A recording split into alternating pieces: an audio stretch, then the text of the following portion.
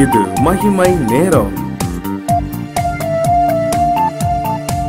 மகிமை டிவி நேயர்களே கர்த்தருடைய தாசர்களை குறித்து தியானித்து கொண்டிருக்கிறோம். இந்த நாளிலே நாம் யோபுவை குறித்து தியானிக்க இருக்கிறோம்.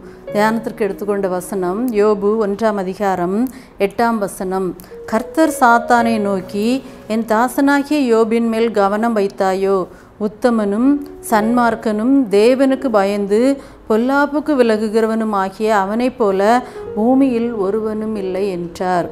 ஆண்டவர் யோபுவை பார்த்து சொல்லுகிறார் என் தாசனாகிய யோபின் மேல் கவனம் வைத்தாயோ? இங்கு ஆண்டவர் யோபுவை என் தாசன் என அழைக்க காரணம் என்ன? அங்கு ஆண்டவர் அதிலேயே பதில் சொல்லுகிறார் உத்தமனும் சன்மார்க்கனும் தேவனுக்கு பயப்படுகிறவன் தேவனுக்கு பயப்படுகிற குணம் ஆண்டவருடைய தாசன் அவருடைய பிள்ளைகள் அவருடைய ஊழியக்காரர்கள் ஆண்டவருக்கு பயப்படுகிறவர்களாக இருக்க வேண்டும். நாம் அவருடைய பணிவிடைக்காரர்கள் ஒரு வீட்டில் ஒரு வேலைக்காரங்க வந்தால் அந்த எஜமானுக்கு பயந்து நடுக்கத்தோடும் பணிவோடும் வேலை செய்கிறதை நாம் பார்க்கிறோம். ஆனால் இன்று ஆண்டவருடைய ஊழியர்கள் கர்த்தருக்கு மேலே பயம் இல்லை ஆண்டவருக்கு மேலே பயம் இல்லை தீமையை பார்த்து பயப்படலை தீமையை விட்டு விலகுவதற்கு பயப்படலை. எபிரேயர் ஒன்று ஒன்பது இவ்வாறு சொல்லப்படுகிறது. இயேசு கிறிஸ்துவை குறித்து அவர் நீதியை விரும்பி அக்கிரமத்தை வெறுக்கிறவர். நீதியை விரும்பி அக்கிரமத்தை வெறுக்கிறவர். ஆதலால் தேவனே உடைய தேவன் முது தோழரை பார்க்கல உண்மை ஆனந்த தைலத்தினால் அபிஷேகம் பண்ணினீர். ஆண்டவர் நம்முடைய ஆண்டவர் நீதியை விரும்புகிறவர் அக்கிரமத்தை வெறுக்கிறவர். இங்கே யோபனுடைய வாழ்க்கையில் பார்க்கிறோம் அவன் தன்னுடைய பிள்ளைகள் நீதியாய் நடக்க வேண்டும். பரிசுத்தமாய் காணப்பட வேண்டும். எந்த ஒரு தவறும் பாவமும் அவருடைய வாழ்க்கையில் மேற்பட்டு விடக்கூடாது என்பதற்காக யோபு ஒன்றாம் அதிகாரம் ஐந்தாம் வசனத்தில் வாசிக்கிறோம் ஒருவேளை என் குமாரர் பாவம் செய்து தேவனை தங்கள் இருதயத்தில் தூசித்திருப்பார்கள் என்று சொல்லி அவர்களை அழைத்து அனுப்பி பரிசுத்தப்படுத்தி அதிகாலமே எழுந்து அவர்கள் எல்லாருடைய இலக்கத்தின்படியேயும் அவர்களுக்காக சர்வாங்க தகன பலிகளை செலுத்துகிறான். தன்னுடைய பிள்ளைகள் பரிசுத்தமாய் வளர வேண்டும். ஆண்டுடைய நாமத்துக்கு பரிசுத்தத்தை கொண்டு வர வேண்டும். ஆண்டுடைய நாமத்துக்கு மகிமையை கொண்டு வர வேண்டும் என்பதிலே மிகவும் கவனமாக அங்கே இருக்கிறத பார்க்கிறோம். ஒருவேளை பாவம் செய்தார்கள் என்று சொல்லப்படவில்லை. ஒருவேளை செய்திருந்தாங்கன்னா ஒருவேளை அவங்க இருதயத்தில் தூசித்திருப்பார்கள் என்றால் அவர்கள் அந்த பாவத்தை மன்னிப்பதற்கு அந்த கால முறைப்படி காலமே எழுந்து சர்வாங்க தன தகன பலிகளை செலுத்துகிறதை பார்க்கிறோம். கிறிஸ்துக்கள் மிகவும் அன்பானவர்களே நாம் நம்முடைய பிள்ளைகளை எப்படி பரிசுத்த ஜீவியத்தில் வளர்க்கிறோம்? நாம் எப்படி நம்ம பிள்ளைகள் ஆண்டவரை மகிமைப்படுத்துகிற பிள்ளைகளாக இருக்கிறாங்களா? அல்லது ஆண்டுடைய நாமம் தூசிக்கப்படுவதற்கு காரணமாக வளர்த்து கொண்டிருக்கிறோமா? அடுத்ததாக அவருடைய மனைவியையும் அந்த குடும்பம் முழுவதையும் ஒரு ஆண்டு ஆண்டிற்கு பயந்த குடும்பமாக வளர்க்கிறார். அவருடைய மனைவி இவரை கடிந்து கொள்ளும்போது கூட யோபு ரெண்டாம் அதிகாரம் ஒன்பதாம் பத்தாம் வசனத்தில் பார்க்கிறோம் நீ பைத்தியக்காரி பேசுகிறது போல் பேசுகிறாய்.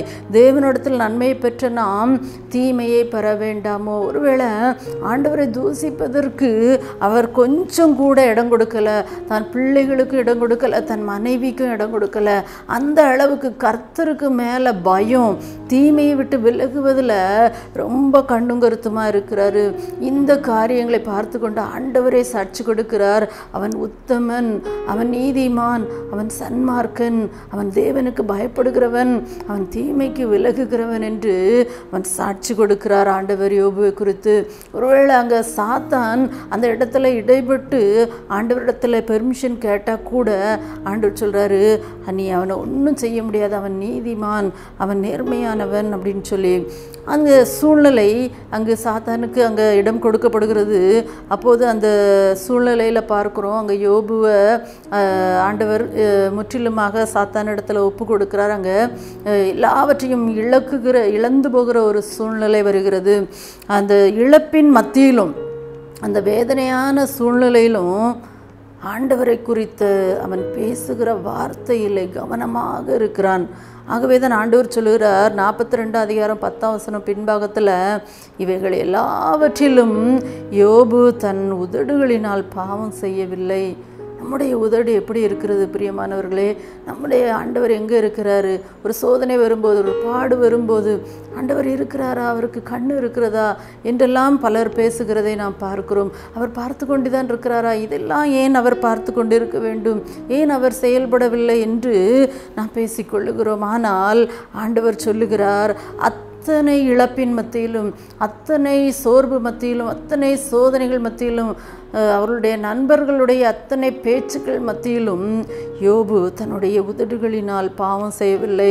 ஆகவே தான் ஆண்டவர் சொல்கிறாரு யோபு நாற்பத்தி ரெண்டு ஏழு பின்பகுதியில் என் தாசனாகிய யோபு பேசினது போல் நீங்கள் என்னை குறித்து நிதானமாய் பேசவில்லை.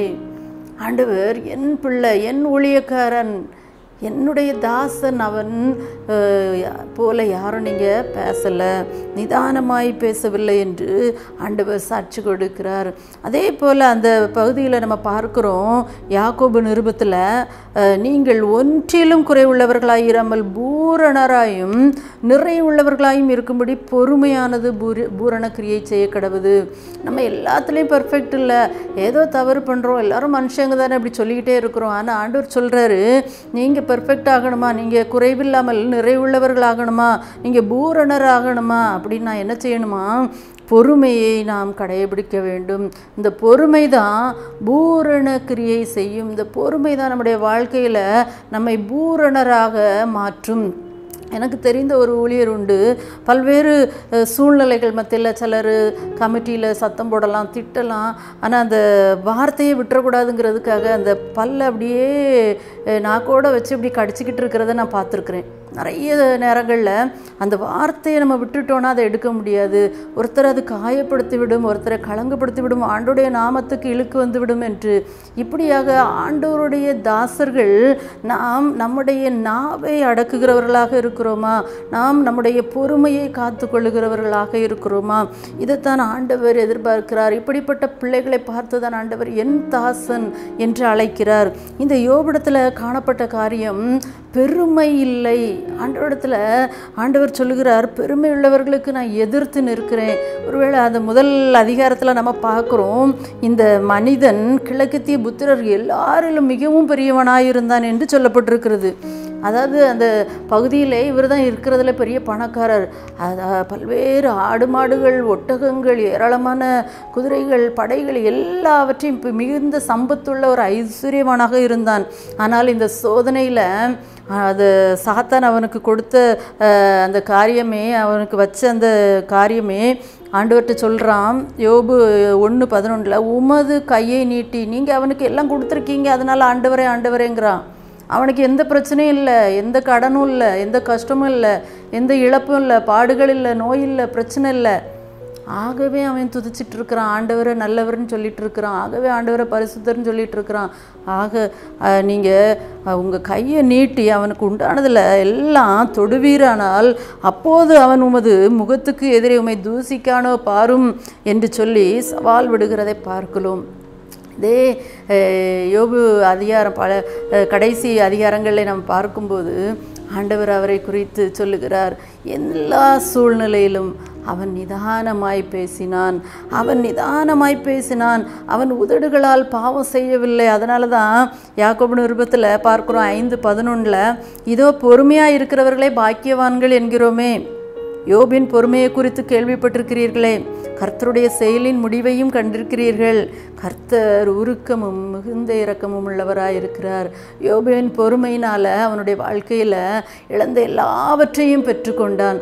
கிறிஸ்துக்கள் பிரியமானவர்களே நம்முடைய வாழ்க்கையில் ஒருவேளை பாடுகள் பிரச்சனைகள் போராட்டங்கள் இருக்கும்போது அதை பொறுமையோடு நாம் சகிக்கும்போது வாழ்விலும் தாழ்விலும் நாம் நம்முடைய ஆண்டவரை விட்டு பிரியாமல் அவரை நாம் மகிமைப்படுத்தும் போது அவருடைய நாமத்துக்கு மகிமையுள்ள குடும்பமாக நாம் வாழும்போது அவரை நாம் உயர்த்தும் போது நிச்சயமாகவே ஆண்டவர் நம்மோடு இருந்து நம்மையும் பார்த்து சொல்வார். என்னுடைய தாசர்களே என்று அழைப்பார்.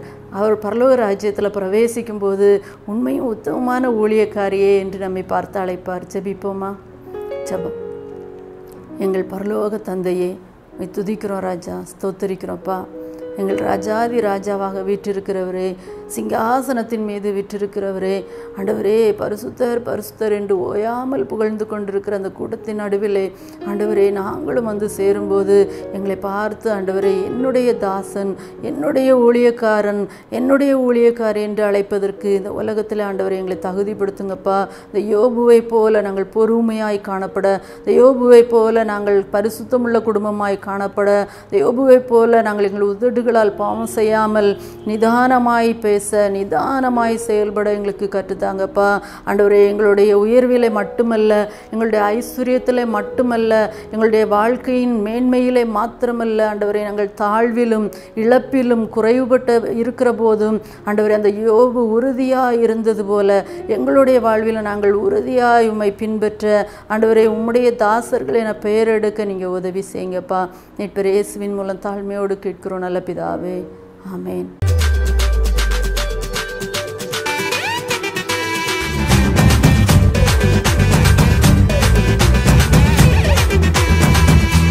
மகிமை மகிமை